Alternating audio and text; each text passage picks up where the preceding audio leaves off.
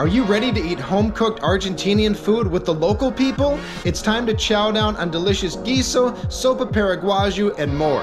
Our adventure starts right now. Buenos dias, everybody. Welcome back to Iguazu Falls in Argentina. We have a super special episode planned for today. I'm here with my local friend Dario. Him and his mother are about to serve us up a real deal, authentic Argentine spread for lunch. Dario, tell the people at home a little bit about yourself and what we're going to eat today. Hey guys, this is Dario from Iguazu Falls and we're gonna having a local lunch today which called guiso, sopa paraguaya with the yuca we call mandioca.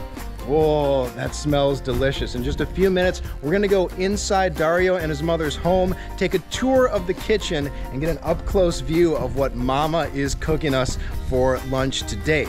Before we go on in, I would greatly appreciate if you hit that like and subscribe button so you can stay tuned for all my future adventures. Uh, okay, so we are in Iguazu. Uh, my name is Dario and I work with my mom and we host people here from all over the world in our Airbnb. And today we're gonna have some guiso, which is kind of paella in, in Peru. Yeah.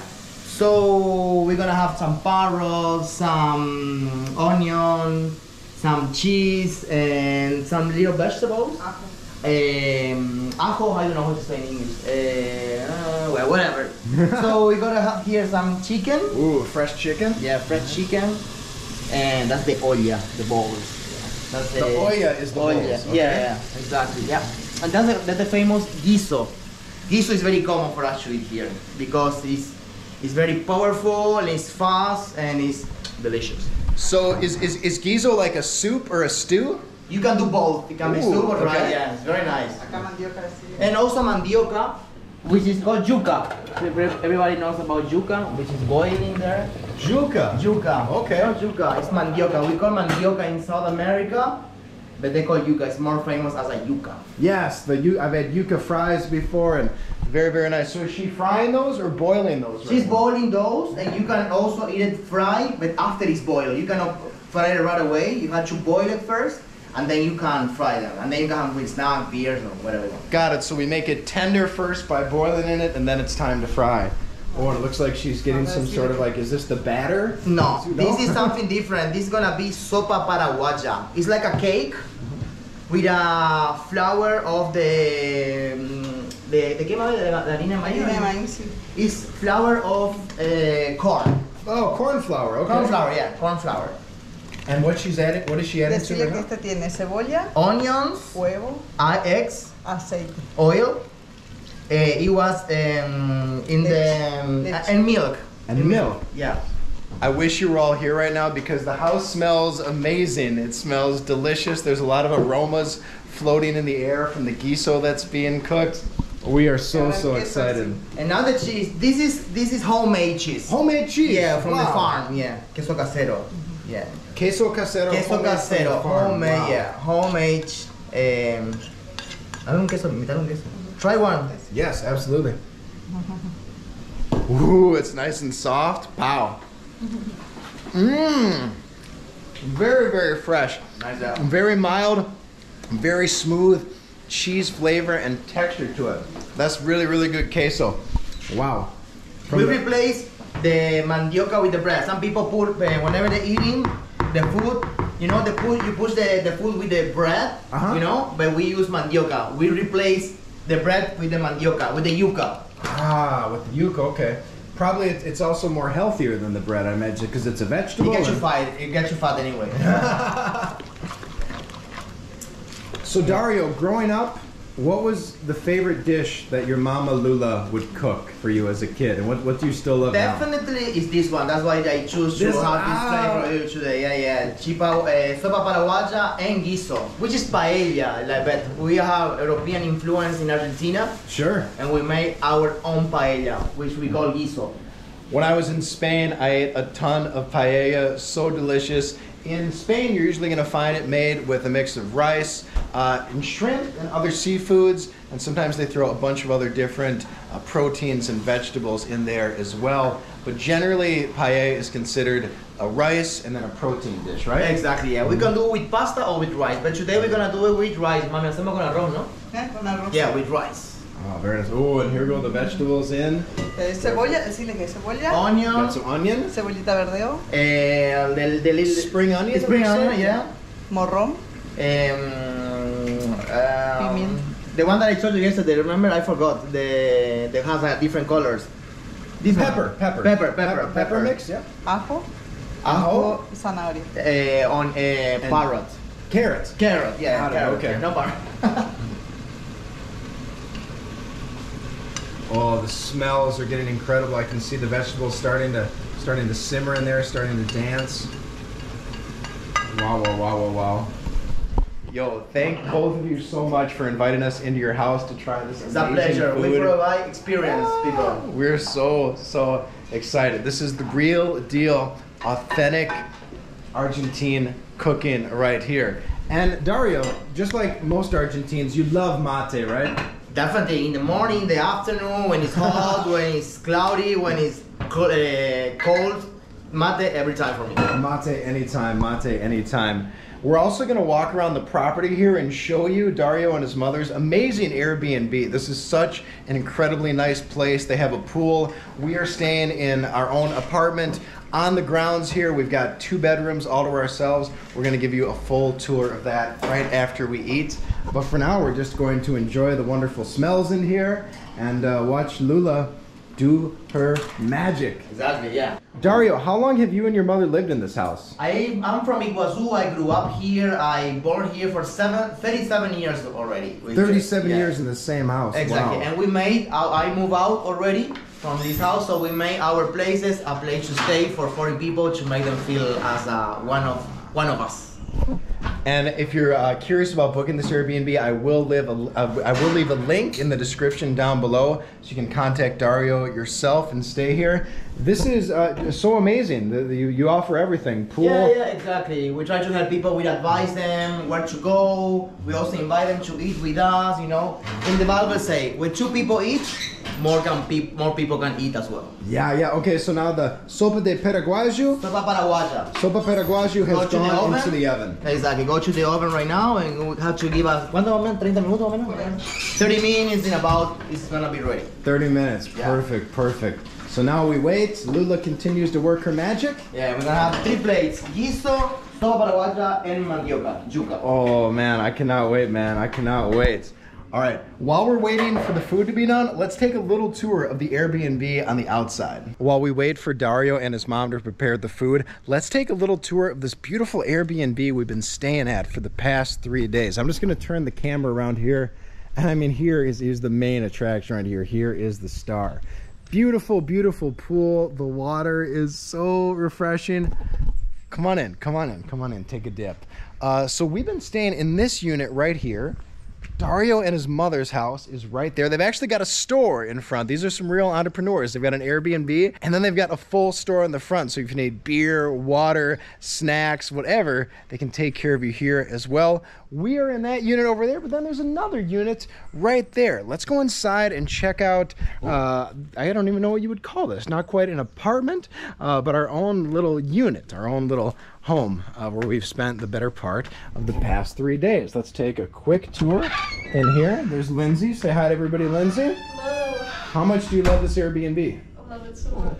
Major apologies. We have turned this place uh, into a mess. We have stuff everywhere, so don't mind the mess. It's going to look a lot nicer when you stay here. So we walk into the kitchen, boom, we got the oven, boom, we got the refrigerator, boom, we got the desk to work at, and the Wi Fi is booming here. Super important if you're a digital nomad or someone like me who needs to do important things like check sports scores or lottery numbers, things like that. The internet is good. No reason to show you the bathroom. Uh, everything you could imagine that was in there a toilet, a shower. Here's just one of the bedrooms. This is where uh, we've been staying. Gear, gear all over the place. Got a big, I think it's like a double, double sized bed here. Super well enough for two people. Uh, then we got a little bunk bed action over here too. Walking back into room number two. Yeah, yeah, yeah, yeah, yeah. Let's turn on the lights. Okay. Again, two bunk beds and then another double size bed. So you could stack one, two, three, four, five, six, seven, eight. Eight people could stay in this room, maybe even nine if someone wants to be on the couch. An incredible amount of room. The price of this Airbnb is super low. I'm not going to tell you because I think the rate does change depending on the season and the day of the week. Um, but definitely check online so you can make sure to get the best price. Okay, I think I'm starting to smell some of the food wafted from the kitchen in here. So we're gonna go check on the food and chow down. No worries. Oh, we got the we got the table all set. ready. Woo! Starting to get feel pretty warm in here. I like it. I like it. it? It's nice. It smells amazing. It's about to finish. Woo! Sopa paraguayo. Paraguaya. Sopa paraguaya. Wow. Look at that golden brown color coming off it. Starting to see that sizzle on top. Wow, wow, wow, wow, wow. Now, was there cheese on there? The cheese, yeah. Cheese, wow. Look at the queso. You can see it kind of like boiling on top. Look at those bubbles dancing. It smells amazing. I was just telling Dario and Lula that I've literally starved myself all day. I only had a cup of coffee in preparation for this gigantic lunch. Super, super excited. Again, the aroma filling this house. Oh, it smells like some real down home cooking. Ooh, and now Mama is pulling the yuca out of the pot. Decirle que no se cocina nada. It's a it's a old yuca, so it might be a little bit hard. It might be a little bit A hard. little bit okay? hard, yeah, yeah, yeah, because sometimes when it's very, very old yuca, it's not when even if you boil a lot, it doesn't get like very. Um, uh, ¿Cómo se dice blando? Soft? Like, soft, ah, soft, yeah, soft yeah, and soft, chewy. soft. Okay. No worries. Any yuca Sorry is good about yuca. Oh, look at the steam coming off of those, freshly boiled. Wow. Dale a la chica ese lugar, siéntate por acá. Lindsay, so I know you weren't here before. This is sopa paraguajo? Paraguaja? Paraguaya. Sopa paraguaya. Could you just tell Lindsay again what is in this amazing dish? You have cheese, you have onion, you have milk, and you have eggs, and everything mixed in the blender, and then in the oven, and looks like a cake now. And they're using real farm-raised queso, Oh, yeah, yeah, right? As exactly, fresh as it gets. Everything fresh. Wow, wow, wow. Mama cutting up the sopa paraguaya.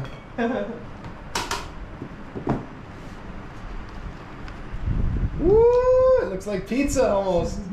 Oh, gracias, oh, gracias. Should we sit? Yeah, yeah, of course, yeah, yeah, yeah. Before we take the first bite, I just want to express how thankful I am uh, for you inviting us into your home and No, it's uh, a pleasure to, share, for us. to share a meal with you. This is uh, very unique and very special. Dice que él primero quiere agradecer, antes de empezar a agradecer que, que nosotros le hayamos invitado. Ah. It really, really means a lot to us. Our, our stay here has been incredible. You've all been so kind and, and so generous. Awesome. We're glad you feel that way. All right, should we tear in? Should we take our first bite? Of course, yeah, go ahead, go ahead, go for it. All right, Lindsay, would you hold the camera, please? All right, I'm gonna take my first bite of sopa paraguaya. Ooh, looks really warm and flaky. Almost looks like cornbread with cheese that we would make back down south in the United States. Ooh, get a close up there of that big gob of that queso cheese coming out of there. Ooh, looks super ooey and gooey. All right, here we go. First big bite. Pow. Mmm. Oh, yeah, yeah, yeah. Wow.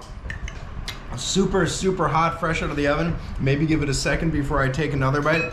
But an incredibly rich, buttery flavor to it. It's really, really moist, not not dry at all. The cheese gives it a real uh, gives it a really nice smoothness and creaminess to it. And then the outside, we've got the bit here that has been um, kind of cooked and just a little bit crispy. So it's a nice mix of crispiness mixed in with that smooth, ooey gooey middle. Wow, wow, wow! Sopa paraguajo. This is this is amazing. It's kind of like a cheese bread, but not even fair to like call it a cheese bread. I'm really digging the flavor that the onion adds to the dish. It kind of reminds me of the fugazzeta pizzas that we've had throughout Argentina. It adds a really nice flavor element uh, to the entire dish. The corn flakes that are put in here also give it that nice little bit of crunch too. This is delicious and a great way to start off lunch. Living in the triple border, this one is only made in here. Or you, it's made in Paraguay, and part of Argentina, and a little part of Brazil. So you're not gonna find this in nowhere in the world. Yeah, I've never had anything like this anywhere in the world. I've had uh, things that are similar to it, but not as flavorful, not as ooey, not as gooey, way, way more dry. Okay, Mama is about to pour up some of the guiso. Oh, taking a big, big scoop of that. Wow. Big, heavy portions. We've got the delicious chicken in there that's been stewing. Oh, the flavor and the, the smell that's coming off of that. Oh, thank you so, so much, Mama. Wow, wow. Let's take an up close look at that. I am so excited. If this is half as good as the sopa paraguaya, I am, I am in Así que for an si es un poquito absolute rico como la sopa treat. paraguaya, imagina, imagina cómo está. dice. Lindsay's getting a big plate served up to her. Can't wait to get your reaction on your first bite here in a little bit, Lindsay. So we just said a little prayer here to start off the meal, and now we're about to dig in for our first taste of the guiso. Cannot wait. So so excited. Wow, wow, wow, wow, wow. All right, before we tear into the yuca, it's main event time. Right here, we've got the guiso. Look at that. It's got this amazing rice that's been stewing in that variety of sauce and vegetables for the past few hours. We've got nice chunks of chicken in here. All right, let's try our first bite of the guiso. Here we go. Let's get some of that rice in there. I love how the vegetables were so thinly and finely chopped that they just kind of blend in with that sauce. Pow. Mmm. Oh my god. Oh my gosh. This is so so good. So rich, so flavorful. The onions, the garlic in there, the tomato, I can taste it all. The pepper is adding just the tiniest little bit of heat to it. The rice was cooked to perfection. Very, very tender. Wow. It's like an explosion of flavor in my mouth.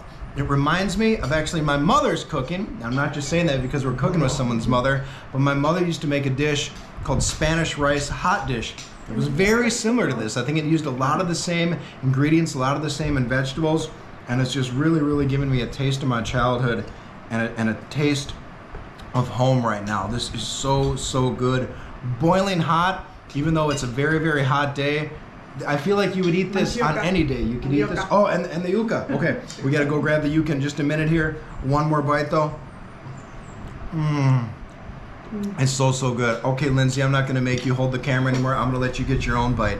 Okay, it's yuca time. Dario told me that the yuca they used uh, is, is just a little old, so it's going to be a, just a little bit hard. So he suggested we let it sop up all the juices from the guiso. Here we go. If you've never had yuca before, very similar to like a potato. Pow. Mmm. Mm-hmm. Mm-hmm. That's not hard at all. It's No, it's. soft. I mean, in a, in a blind taste test, you would almost think that it was a potato. It's got a very nice buttery element to it, very soft. It, it was it was super super tender. Like it? It did a nice job of soaking up some of the flavors in the guiso as well. I'm beyond blown away by this meal. We've been to a lot of restaurants in Argentina. We've had a lot of traditional cooking, but this is the first time we've had a home cooked meal, and it tastes just a little bit better because I'm sure it's made with love. She made it in 30 minutes. 30 minutes, all it took. Wow, wow, wow. 30 minutos hiciste todo. 30 minutos. ¿eh? Wow, I can't even make a frozen pizza in 30 minutes by myself, and, and we made all this here. So, as I said earlier, we're in Iguazu, which is the northern part of Argentina. We are on the border of Paraguay and Brazil. Because the vegetables in here are so fresh and tasty, and because Dario told us that the queso, the cheese, was made from a farm close by, I'm very curious what farming life is like here. Dario, could you tell us a little bit about farming culture here in Iguazu? What kind of vegetables and fruits grow? Thanks God, we have a very health and very nice earth that what everything grows properly, onion, garlic, potato, and everything. And the cheese we just have tried, it came from Paraguay because my grandma, she lives in the farm in Paraguay, so I had to cross Brazil and Paraguay uh, last week, and she gave me a huge piece of, of cheese, so it was also made in the farm, in the real farm in Paraguay. Wow, so hold up. So this cheese, this queso, was imported technically from Paraguay? Exactly, yeah. Wow, cross country cheese. Yeah, and then yeah, tomatoes, potato, everything come from out of Iguazu. But here, if you want to plant something, it grows very fast because we have a, a very rich he- earth here. And is the weather like this all year long, or is there a rainy season? It can be sunny and suddenly it can be rainy and suddenly it can be sunny again. We have a subtropical weather, so it changes very often. So, because we're very close to a giant, long, and winding river, a lot of the restaurants here serve a variety of fish like dorado and pacao, or pacu as you may say. Um, I'm curious, Dario, will you do you buy fish? Do you fish yourself? And how often is fish eaten here uh, within Iguazu? And I, I, is, is the fish good? I guess would be the other question. It's optional because we got two rivers here the Iguazu that come from the falls and also the Paraná River that finishes in Buenos Aires. So you got the option to go and fish in the river. Or you have the the fish places here, the store, so you can buy them. So you got two options. Or you can go and spend the time fishing, or you go to the store to get some fish. And will, will a lot of people go out and fish? Like growing up, did you fish a lot? Normally no, because you have all the way down to go to the river, so it's kind of hard to get there. Ah, yeah, okay. that's why probably most of the people they prefer to buy. But some of people they go to fish and then they sell it. What is your favorite fish that comes from the river that you eat El here? do- dorado. El Dorado. I had that the other Very nice. Very yeah. big. Yeah. Very, big. very yeah, it's nice with um, blue cheese. It's Ooh. amazing. It's very nice. Cheese on fish. I haven't tried that yet. Blue cheese. Blue especially. cheese. Blue cheese on the top. Yeah, blue That's- cheese with fish. It may uh, and white wine. Oh. Very nice taste. Very tasty. Yeah, very enjoyable. I think I'm ready for a, a fish dinner now. This sounds that sounds amazing, amazing. Lindsay, what did you think of the delicious spread we had today for lunch? It is the best meal we have had in weeks. I'm I'm so happy. It's so so good. I was I was I was so surprised by how much I enjoyed everything. I knew I was going to like it. Um, But the sopa paraguaya, I'm gonna have dreams about it. I want to make that when I get home. I love the fact that it had onions and cheese in it. That really took it up to another level. I saw that your mother, she was kind of scraping the crusty sides. to- Yeah, it's very nice. Very tasty. You know, the crispy side of the sopa paraguaya is nice. So when you have food like that left over, will you then will you keep it in the uh, refrigerator? Will you then eat it cold? Thank we you. put it in the refrigerator to have it later on, uh, and to have it at night or even tomorrow if it's still good. Even tomorrow. So tell me a little bit about. You just said your uncle had a birthday. Cumpleaños feliz to him. Yeah. What will you normally cook for a birthday celebration? Will you have postres like cake, barbecue, asado? Barbecue is amazing. Yeah, barbecue with salad, yuca. Always this one. Is Always very- yuca, yeah, yeah, okay. This one is in everywhere in Argentina. No, in Iguazu. And eh, barbecue is the most things we do, or Argentinian empanadas as well. Oh. Yeah, those are the most very Argentinian food we normally eat when we hang out in birthday parties and. Those Yum yum yum. We we ate so many empanadas throughout Buenos Aires when we were down north as well. We had some delicious seafood flavored ones.